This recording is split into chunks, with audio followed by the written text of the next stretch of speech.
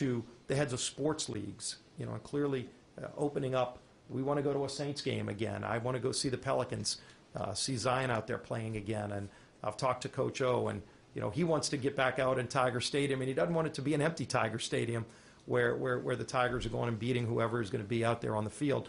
We want a full stadium. But people know uh, when we come back, it's going to probably be a gradual pace where people are taking extra precautions and then ultimately getting to a place where we have a lot more comfort level uh, that this disease isn't going to spread like it has spread before, and we can do more things to contain it.